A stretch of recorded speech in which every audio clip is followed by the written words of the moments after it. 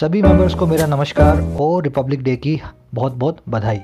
आज Republic day के दिन ही एक नई ग्रामर सीरीज़ का मैं आगाज़ कर रहा हूँ, सिर्फ़ मेंबर्स के लिए गोल्डन ग्रामर सीरीज़ नाम पे नहीं जाएँ, इस सीरीज़ के अंदर आप जो गोल्डन ग्रामर के रूल्स हैं ना गोल्डन रूल्स जो बार बार एग्ज़ाम्स में पूछे गए हैं, जिनके ऊपर पूरी ग्रामर टिकी हुई है उनका हम एक क्रैश कोर्स करने वाले हैं।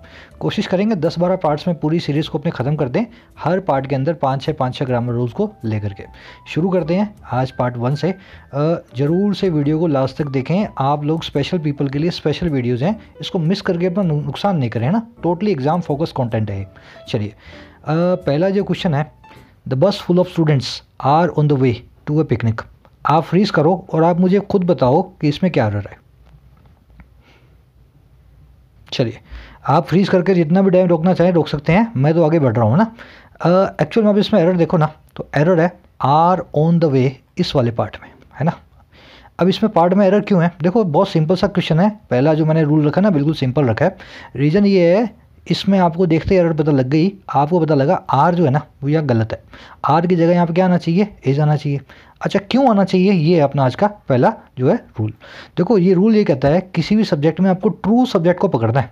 वर्ब जिसके लिए लगी है ना, वो ट्रू सब्जेक्ट होता है। अब देखो, यहाँ पे दो चीज़ें दिख रही हैं आपको स्टूडेंट्स और बस अगर थोड़े भी आप कंफ्यूज हो गए तो स्टूडेंट्स के हिसाब से आपने आर लगा दिया तो आपका क्वेश्चन गलत हो गया। आपको बस के लिए इज़ लगाना है। अब देखो ये क्यों लगाना है? अब इसको अपने फटाफट से मैं आपको पार्सिंग करके दिखा देता हूँ। दस सेकंड लगेंगे खाली। बस आपके पास अकेला एक नाउन है। फुल यहाँ पे एडजेक्टिव है। ऑफ़ प्रेपोजिशन है। प्रेपोजिशन क्या चाहिए? एक एक जो ऑब्जेक्ट चाहिए। स्टूडेंट बन गया इसका ऑब्जेक्ट अब ये स्टूडेंट इसका ऑब्जेक्ट बन गया तो हमारे पास इस आर वर्ब के लिए सिर्फ़ एक ही सब्जेक्ट बचा, जो कि बची बस। तो स्टूडेंट इस ऑफ़ का प्रेपोजिशन का ऑब्जेक्ट होने के कारण हमारा जो सब्जेक्ट है वो है बस। बस के लिए हम आर नहीं, बस के लिए हम इज़ लगाते हैं। इस वजह से हमारे पास ये आर की एरर बन गई यहाँ पे। पार जो इसके पार्ट टू में, है ना? सिंपल सेंटेंस था, बस बताना मैं जा रहा हूँ ट्रू सब्जेक्ट को आपको ढूंढना है। अब देखो, एक थोड़ा कॉम्प्लिकेटेड सेंटेंस देख लेते हैं। चलिए फ्रीज करके रखें अपने जितना टाइम आपको लेना है, लें, फिर इस अप्रोच को देखें। इस सेंटेंस में भी आप देखेंगे ना, थोड़ा सा कॉम्प्लिकेटेड लिखा हुआ है, उस पहले वाले से थोड़ा बड़ा है, पर इसमें प्रिंसिपल वही अप्लाई हुआ है, आपको ट्रू सब्जेक्ट को पकड़ना है। अगर यहाँ पे कोई आदमी कंफ्यूज होगा तो वो होगा इससे प्रॉब्लम्स प्रॉब्लम्स देख करके वो बोलेगा हैव बिन लगा हुआ है, ठीक है। पर एक्चुअल में क्या है प्रॉब्लम्स इसका सब्जेक्ट नहीं है। देखो स्पीच बनी, एक सब्जेक्ट पहला, एक नाउन पहला। उसके बाद ऑन प्रपोजिशन आई प्रेपोजिशन से जुड़ी हुई थी ये प्रॉब्लम नाम का ऑब्जेक्ट समझ गए मेरी बात को? ये प्रॉब्लम तो इस ऑन से जुड़ा हुआ है। अच्छा फिर ऑफ़ प्रेपोजिशन आई। प्रेपोजिशन के बाद इसने दो ऑब्जेक्ट लिए इकोनॉमी एंड कंजंक्शन और सोसाइटी तो ये दोनों जुड़े हुए हैं सॉफ्ट से। तो एक्चुअल में बचा क्या? खाली स्पीच जैसा एक सब्जेक्ट बचा, एक नाउन बचा, जो हमारा सब्जेक्ट बन सकता है ना? प्रॉब्लम ऑन से जुड़ गया इकोनॉमी ऑफ़ से जुड़ गया, सोसाइटी ऑफ़ से जुड़ गया। बाकी सब के सब हमारे पास जो है जो है इंगेज है ऑलरेडी तो स्पीच के लिए मैं क्या लगाऊँगा? हैज़ लगाऊँगा। तो has been written by himself थोड़ा सा कॉम्प्लिकेटेड है, इसके अंदर कुछ लोग मात खा जाते हैं, है ना? ट्रू सब्जेक्ट को हमेशा पकड़ें। हमारा पहला यू है रूल यही है। एक सेकंड रुके, मैं इसको साफ़ कर दूँ थोड़ा। चलिए। अब देखो, इसके अंदर एक छोटी सी शीट है, जिससे आपको पता लगेगा कौन से सब्जेक्ट के साथ, कौन से नाउन के साथ, कौन से प्रोनाउन के साथ आपको कौन सी वर्ब यूज़ करनी होती है। है ना? ये आप शीट का अगर स्क्रीन ले लें, मैंने इसको उसमें भी रखा हुआ है। जस्ट ए मिनट ड्रिंक का कलर चेंज करें। मैंने डिस्क्रिप्शन में भी रखा हुआ है शीट को नोट्स के लिए। तो आप नोट्स वहाँ से भी उठा सकते हैं और चाहे तो आप स्क्रीनशॉट ले लें। देखिए, इन सब के साथ में लगेगा जब भी इज़ आर नहीं लगेगा। इनके साथ में लगेगा जब भी हैज़ हैव नहीं लगेगा। और वर्ब की फ़र्स्ट फॉर्म जब भी आएगी अकेली प्रेजेंट इंडेफिनिट टेंस में तो वर्ब की फ़र्स्ट फॉर्म के बाद एस या एस लगा होगा है ना? तो सबको, सबके जो है ना, मैंने कैटेगराइज कर रखे हैं, थोड़ा ध्यान रखें इनका, किसके साथ हैज़ लगेगा, किसके साथ हैव लगेगा। चलिए तो अब आपका रूल नंबर वन आपको समझ में आ गया ना ट्रू सब्जेक्ट आपको पकड़ना है। अब ये एक, दो, तीन, चार, पाँच पाँच सेंटेंसेज है। पाँचों सेंटेंसेस के आप जो है ना आंसर निकाल करके देखो। ट्रू सब्जेक्ट ढूंढो is are has have walk walks इनमें से देखो कौन सा लगेगा। यहीं फ्रीज कर लें इंटरेक्टिव सेशन है, आप कोशिश करें यहीं पर इनके आंसर निकालें। नेक्स्ट शीट के अंदर मैं आपको दिखाऊँगा इनके आंसर्स को, जाके अपने आंसर्स को मैच करें ना पाँचों को। चलिए, बड़ा सिंपल सा कॉन्सेप्ट था, इसको मैं आंसर्स को आपको ना वेरीफाई नहीं करवाऊँगा, आप खुद भी देखेंगे तो समझ जाएँगे। बढ़ते हैं अपने रूल नंबर दो की तरफ़। आज का पहला नंबर रूल आपने देख लिया ट्रू सब्जेक्ट को हमेशा आइडेंटिफाई करके ही वर्ब को उसके हिसाब से लगाएँ। चलिए, अगला क्या कहता है हमारा सेंटेंस जो आप सेंटेंस देखें पहले, इसमें एरर को ढूंढें आप। चलिए कंजंक्शन एंड के ऊपर है ये रूल बेस्ड थोड़ा कंफ्यूजिंग रूल है, ध्यान से देखना आप इसको। मैं कह रहा हूँ my thoughts and Meera's views were not on the same platform है ना? एक्चुअल में क्या हुआ यहाँ पे? एंड कंजंक्शन का यूज़ हुआ बीच में। आपको पता है, जब भी एंड आ जाता है, राम और श्याम, सीता और मीना, स्कूल और कॉलेज, बीच में जब भी एंड लगा होता है, जहाँ जहाँ एंड लगा होता है, वो बन जाता है प्लूरल सब्जेक्ट आप जानते हैं ना अच्छे से? तो my thoughts and Meera's view जो है ना, दोनों मिलकर के एंड कंजंक्शन लगने के कारण यहाँ हमने यूज़ कर दिया वर्ड अभी आपने पिछले शीट में देखा था मेरे साथ प्लूरल सब्जेक्ट्स के साथ वॉज़ की जगह वर्ड यूज़ होता है। पर एक्चुअल में इस सेंटेंस में कोई एरर नहीं है। अब आप एक अगला सेंटेंस देखो, उसमें एरर बताओ। आप इसमें सही हो, आपने एंड कंजंक्शन यूज़ किया है। एंड कंजंक्शन के कारण आपने वर्ड लगाया है। तो मैं नो एरर बोलता हूँ। अब आप नेक्स्ट वाला सेंटेंस देखो। चलिए, अब इसमें क्या हुआ है? देखो, एक सब्जेक्ट आया मैनेजर दूसरा सब्जेक्ट आया ओनर आप बाद में लगा रखा इसने आपने आर और क्योंकि बीच में एंड कंजंक्शन आई हुई थी। पर अगर मैं आपको कहूँ, यहाँ पे ये आर गलत है पार्ट थ्री में एक एरर है, इस आर की जगह आपको इज़ रखना है तो आपका दिमाग यहाँ घूम जाएगा। बस ये रूल है यहाँ पे अपने पास। रूल ये कहते हैं कंजंक्शन एंड हमेशा प्लूरल सब्जेक्ट नहीं बनाएगी। समझ रहे हो मेरी बात को? कंजंक्शन एज लगने पे हर जगह सब्जेक्ट प्लूरल नहीं होगा। या मैनेजर और ओनर मिलने के बावजूद आप बीच में एंड नहीं लगाओगे इज़ लगाओगे। इसका रूल क्या कहता है? थोड़ा ध्यान से देखना। रूल ये कहता है, जब नो, दो नाउन नाउन वन और नाउन टू सेम चीज़ को रिफ़र कर रहे हो सेम आदमी को या सेम थिंग को तो वो नाउन एंड कंजंक्शन लगने के बावजूद है ना सिंगुलर वर्ब लेंगे अपने पास। जैसे कि इस जो है सेंटेंस में था। ये कहना चाह रहा है कि ये मैनेजर और जो ओनर है ना स्टोर का, वो एक ही आदमी है। वो मैनेजर भी है और वो ओनर भी है। अब देखो, एक आदमी है ना, भले ही आपने एंड कंजंक्शन लगाई, इसकी दो डेजिग्नेशन के बारे में आपने बताया। तो एक्चुअल में आपको कंजंक्शन को, बीच में जो वर्ब है, उसको इस लगाना है सिंगुलर लगाना है आर नहीं लगाना। हैज़ लगाना है हैव नहीं लगाना। समझ रहे मेरी बात को? क्योंकि मैनेजर और ओनर एक ही बात है है ना? अब देखो, मुझसे आप सवाल करोगे, सर, हमें कैसे पता लगेगा? मैनेजर और ओनर एक ही हैं, हो सकता है अलग अलग हों। आपने तो बोल दिया एक है। देखो, इसके लिए एक रूल है अपने पास। जब भी आपके पास अलग अलग होंगे ना तो आपको उसके आगे द लगा देगा वो। जैसे, मेरे को बोलना है, मैनेजर और ओनर दो अलग अलग आदमी है है ना? तो मैं क्या बोलूँगा? The manager and the owner the owner. और उसके बाद में आर यूज़ करके गुड की जगह गुड फ्रेंड की जगह गुड फ्रेंड्स यूज़ करके पूरा सेंटेंस बना दूँगा। समझ गए? जब भी द दोनों के आगे अलग अलग आएगा तो हमारे पास दो अलग अलग चीज़ें हैं और एक के आगे द नहीं आया और एक के आगे द आया। देखो, शुरू में यहाँ द लगाया और ओनर के आगे मैंने द नहीं लगाया तो मतलब मेरे पास एक ही आदमी है। सीधा सा रूल है, ठीक है? अब इस रूल को थोड़ा और एक्सटेंड करते हैं, मैं और थोड़ा इसकी डेप्थ में जाता हूँ। आप एक दो क्वेश्चन देखो। The PM and chairman of planning commission is या are coming to a town अगर आप इसको खुद करने की कोशिश करो। चलिए मैं बताता हूँ।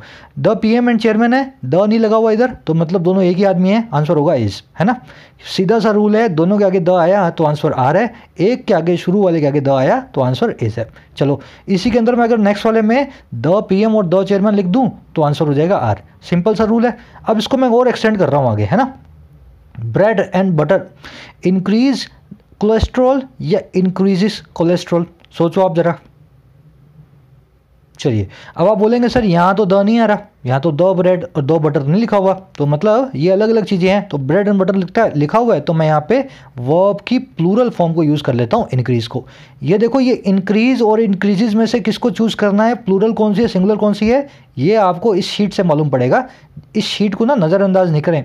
देखो इंक्रीज क्यों लिखा हुआ है यहाँ पे हमने? वर्ब की उस फॉर्म को हम यूज़ करते हैं जिसके आगे एस नहीं लगाओ, जब हमारे पास प्लूरल नाउंस हो। समझ गए मेरी बात को? ब्रेड एंड बटर दो प्लूरल हो गए ना? तो मैं यहाँ पे इंक्रीज लिख रहा हूँ प्ले लिख रहा हूँ किल लिख रहा हूँ। अगर सिंगुलर नाउन होता तो मैं प्लेज लिखता इंक्रीजेज लिखता। इस शीट को नज़रअंदाज नहीं करें, इसी के ऊपर बेस्ड है पूरे के पूरे सब्जेक्ट वर्ब एग्रीमेंट चलो, अब आ जाओ अपने क्वेश्चन पे। क्वेश्चन ये कह रहा है ब्रेड एंड बटर आपको दिया हुआ है एंड कंजंक्शन के साथ में जुड़ा हुआ है। आपको इंक्रीजेज या इंक्रीज में से एक यूज़ करना है। आप यूज़ करेंगे इंक्रीजेज को, क्योंकि ब्रेड एंड बटर जो है ना, हमेशा साथ में आते हैं। एक सिंगल आइडिया को बताते हैं, वो ब्रेड एंड बटर नाम की एक सिंगल डिश को। तो इंक्रीज ना लगा के हम इंक्रीजेज लगाएँगे, ये हमारा रूल है कंजंक्शंस का। तो ये फिक्स फ्रेजेज हैं अपने पास, जैसे कि ब्रेड एंड बटर है ना? हमेशा सिंगुलर वर्ब उसके साथ यूज़ करें आप। अच्छा और देखो टाइम एंड टाइड अब देखो, दो चीज़ें हैं, समय और तूफ़ान, है ना? वेट और वेट्स की जगह आपको चूज़ करना हो ग्रामेटिकली जाएँ तो आप बोलेंगे वेट लगाऊँगा मैं। टाइम एंड टाइड दो अलग अलग चीज़ें हैं। बट टाइम एंड टाइड जो है ना सिंगल आइडिया को बता रहे हैं वो। ये बता रहे हैं कि वक्त है ना, किसी के लिए इंतज़ार नहीं करता टाइम जो मौका निकल जाता है, वो फिर कभी नहीं आता। सिंगल आइडिया बता रहे हैं तो भले ही आप टाइम एंड टाइड लिखाओ आप लिखेंगे waits time and tide waits for no one इसी तरह से आप अगला रूल देखें। आ, इसी मतलब इसी कॉन्सेप्ट के ऊपर मिल्क एंड फ्रूट अगर मैं बोलूँ मिल्क एंड फ्रूट हैज़ और have known to be a good diet milk and fruit को एक अच्छी डाइट की तरह जाना जाता है।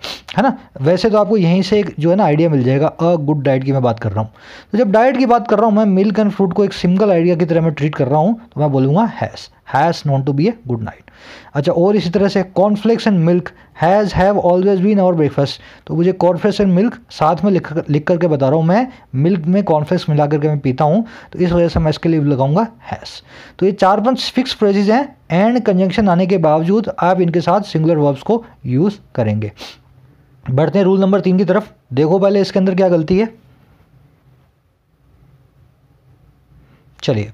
देखो, इसमें सिंगल सा सिंपल सा आपका लॉजिक ये कहेगा कि each man and each woman each man and woman या each man man and each woman लिखा हो तो आप बोलोगे, यार वर्ड डांसिंग बहुत सारे लोग होंगे ना, सबके सब डांस कर रहे थे। पर ये बड़ा सिंपल सा रूल है, ये सीधे सीधी बात ये कहता है कि ईच और एवरी है ना ईच और एवरी हमेशा अपने बाद चाहे बीच में एंड कंजंक्शन आई हो, हमेशा अपने पास सिंगुलर वर्ब लेंगे।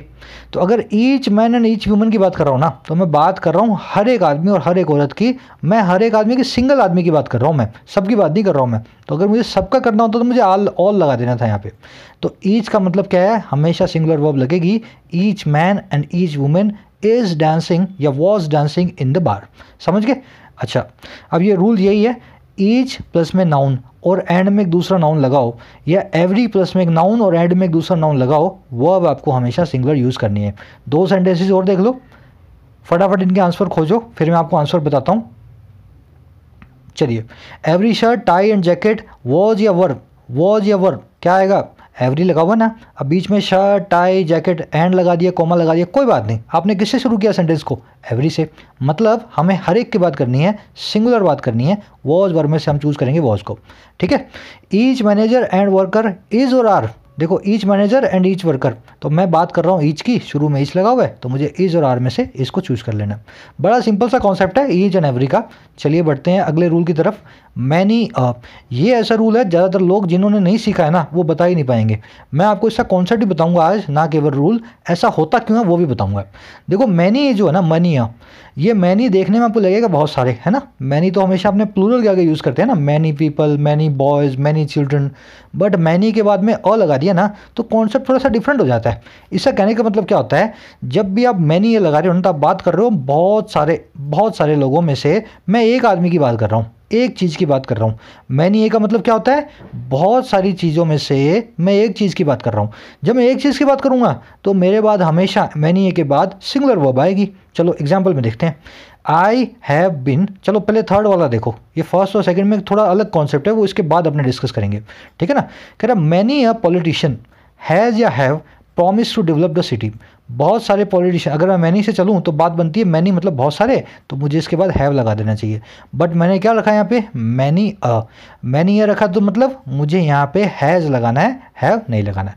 क्लियर होगा कॉन्सेप्ट अब देखो ये कहना क्या चाह रहा है इसका सेंटेंस से? बहुत सारे पॉलिटिशियंस में सबने एक एक करके प्रॉमिस किया है। समझ गया मेरी बात को? मैनी ये पॉलिटिशियन का मतलब क्या है? बहुत सारे पॉलिटिशियन आए, उन सबने इंडिविजुअली हमारे को प्रॉमिस किया कि सिटी को डेवलप करेंगे। एक एक ने प्रॉमिस किया कि सिटी को डेवलप करेंगे, इसलिए मैं हैज़ लगा रहा हूँ। अब देखो, इसी में एक दूसरा कॉन्सेप्ट भी है, मैनी ए के साथ। आपकी वर्ब तो सिंगुलर होगी होगी। मैनी ए के बाद हमेशा नाउन भी सिंगुलर होगा। इसी सेंटेंस में देखो, मैनी अ पॉलिटिशियन एस नहीं लगा इसके आगे। यही मैं बताना चाह रहा था आपको। मैनी ए के बाद में जो नाउन आया ना, वो भी आपको सिंगुलर रखना है एस नहीं लगाना है। चलो ए पहले वाला सेंटेंस और दूसरा वाले सेंटेंस को थोड़ा सा आप करो, अपने हिसाब से कोशिश करो।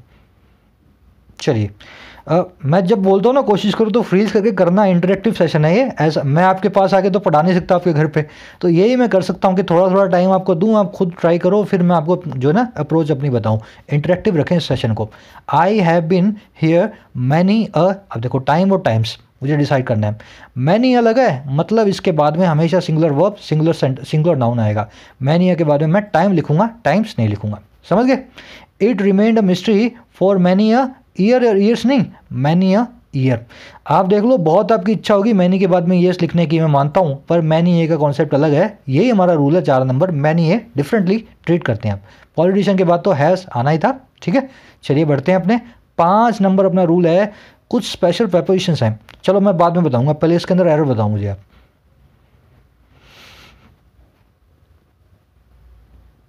चलिए। एरर क्या है इसके अंदर? ये ब्राइट और बीच में प्रपोजिशनल फ़ेज़ लगा है एज वेल एज और बाद में जो दूसरा लगा आपका ब्राइट ग्रूम तो ये एज वेल एज जो प्रेपोजिशन है ना, और ऐसी कई प्रेपोजिशंस उनका काम क्या होता है? वो कभी भी अपने से पहले आने वाले नाउन के नंबर को चेंज नहीं करेंगी। जैसे कि यहाँ पे ब्राइड मतलब दुल्हन और ब्राइड ग्रूम मतलब दूल्हा। बीच में प्रपोजिशन लगी हुई थी। तो ये जो मैं एज वेल एज जो है ना, इससे पहले जो आ रहा था ना, मेरी वर्ब उसी के हिसाब से चलेगी। एज वेल एज के बाद आने वाले जो नाउन है या प्रोनाउन है उससे कोई फ़र्क नहीं पड़ेगा सेंटेंस की वर्ब पे। तो द ब्राइड है ना तो इसके हिसाब से मुझे यहाँ पे लुक्स लिखना है। सिंगुलर नाउन्स के साथ में सिंगुलर सब्जेक्ट्स के साथ में हमें पीछे हमेशा वर्ब के एस लगाना होता है प्रेजेंट इंडेफिनिट टेंस में। इतना तो आप जान ही गए ना टेंस की वीडियो भी देख लिया आपने। तो ब्राइड के हिसाब से यहाँ लुक्स आएगा। ये ब्राइड ग्रूम जो है ना, हमारा सब्जेक्ट नहीं बनेगा पार्ट नहीं बनेगा सब्जेक्ट का, ठीक है ना? तो इस तरह से आपका पार्ट थ्री के अंदर एरर है। अब देखो और, ये एक अकेला नहीं है ये एज वेल एज इसके साथ में बहुत सारे हैं। Together with with besides in addition to as well as along with including इन सब का मतलब क्या होता है कि मैं जिसकी बात कर रहा हूँ, उसकी बात तो कर ही रहा हूँ, उसके साथ साथ दूसरा आदमी भी ऐसा दिख रहा था। तो साथ साथ है ना तो मतलब हमारे सब्जेक्ट की वर्ब जैसा कोई डिफरेंस नहीं है। वर्ब जैसी पड़ी थी, वैसी रहेगी। अगर वर्ब सिंगुलर थी शुरू में तो वर्ब सिंगुलर रहेगी। और अगर प्लूरल वर्ब थी तो वह प्लूरल रहेगी। एग्ज़ाम्पल देख लेते हैं, और क्लियर हो जाएगा। एक सेकेंड रुक जाओ, साफ़ कर दें इसको। चलिए क्वेश्चन है। देख लो आप क्वेश्चन को। चलिए द गवर्नमेंट अब देखो बीच में as well as the people of this country अब इज़ या आर डिसाइड कैसे होगा? एज वेल एज से पहले पहले जो नाउन आया है, जो सब्जेक्ट आया है, वो हमारा जो है जो है उसके हिसाब से वॉब लगेगी। गवर्नमेंट के लिए इज़ और आर में से इज़ लगेगा तो आप बोलोगे इज़ ठीक है? तो पीपल ऑफ़ दिस कंट्री के लिए आप कुछ भी यहाँ यूज़ नहीं कर रहे हो आर वार कुछ कुछ नहीं लगाना है। गवर्नमेंट के हिसाब से पूरा सेंटेंस बना देना है, क्योंकि बीच में एज वेल एज आया था। चलो और देख लो। मैनी फैक्टर्स इंक्लूडिंग एजुकेशन अब देखो बीच में क्या आया? इंक्लूडिंग मेरा सेंटेंस किससे शुरू हुआ है? फैक्टर्स से। फैक्टर्स के हिसाब से क्या लगना चाहिए? आर लगना चाहिए। मान लो यहाँ पे इंक्लूडिंग ना होता एंड लगा होता तो मैं वैसे भी आर लगाने वाला था। कहना मैं ये चाह रहा हूँ, ऐसा नहीं है इंक्लूडिंग आ गया तो हमेशा ही जाएगा। उससे पहले जो नाउन आ रहा है ना, उसके हिसाब से वर्ब लगेगी। फैक्टर्स आ रहा है तो बेशक आर लगेगा यहाँ पे। कोई डाउट नहीं है इसके अंदर। तो इस तरीके से इन सभी के बाद में कभी भी कोई नाउन आए तो उसका वर्ब पे कोई डिफरेंस नहीं आएगा। अगर आपका उससे पहले वाला नाउन सिंगुलर था तो वह अब सिंगुलर रह जाएगी। नाउन प्लूरल था तो वर्ब प्लूरल हो जाएगी। सिंपल सा कॉन्सेप्ट है। नोट्स रखे हैं ये डिस्क्रिप्शन में, जा कर के इनको डाउनलोड कर लें पाँच रूल्स के। और फिर लेके आऊँगा पाँच रूल्स अगले पार्ट के अंदर। उससे पहले क्विज देख लें फटाफट से। दस क्वेश्चन हैं। आज के इन पाँच रूल्स के ऊपर ही बेस्ड है। है ना? नेक्स्ट स्लाइड में इनके आंसर्स हैं। ठीक है? आंसर्स और इन क्वेश्चंस को ध्यान से देखो। अपने क्वेश्चंस को मैच करो। ज़रूर से मुझे अपना ना स्कोर ज़रूर बताना डिस्क्रिप्शन के अंदर। प्लस में अगर आपको, देखो पहला पार्ट है, आपकी इच्छा से बनाने वाला हूँ मैं सब कुछ। अगर आपको ऐसा सौ रूल्स की एक सीरीज़ चाहिए तो मुझे ज़रूर से बताएँ, कमेंट के अंदर भी, और जो एक्सक्लूसिव वाले हैं, जिनके पास मेरा नंबर है, उस पर मुझे जा करके बता दें, है ना व्हाट्सएप पे। आप लोग चाहते हैं, तभी इसी सीरीज़ को कंटिन्यू करेंगे। मेरी इच्छा ये है, मैं तो नहीं चाहता हूँ इस तरह से किसी को पढ़ाना क्रैश कोर्स करवाना बट एग्ज़ाम नज़दीक आ रहे हैं ग्रामर वीडियोज़ में पूरी नहीं कर पा रहा हूँ तो फटाफट से मैं क्रैश कोर्स करवा देता हूँ, ताकि आप लोग बैठने लायक हो एग्ज़ाम में, पच्चीस में से बीस नंबर स्कोर करने लायक हो, है ना, ज़रूर से मुझे बताना, अपना फीडबैक फिर मुलाकात लूँगा पार्ट टू के अंदर। वीक में दो वीडियोज़ इनको करेंगे। कोशिश करेंगे जिस वीक में क्लोज टेस्ट या एरर करेक्शन कुछ और लेने मतलब कुछ और वीडियोस बनानी है, तब उस वीक में एक ही ले लेंगे। अदरवाइज़ नहीं तो दो वीक दो वीडियोस हर वीक में हम करने वाले हैं। दूसरी वीडियो में पब्लिश करूँगा ट्यूसडे या वेंसडे को, ठीक है? मुलाकात लूँगा तब तब तक के लिए साइनिंग आउट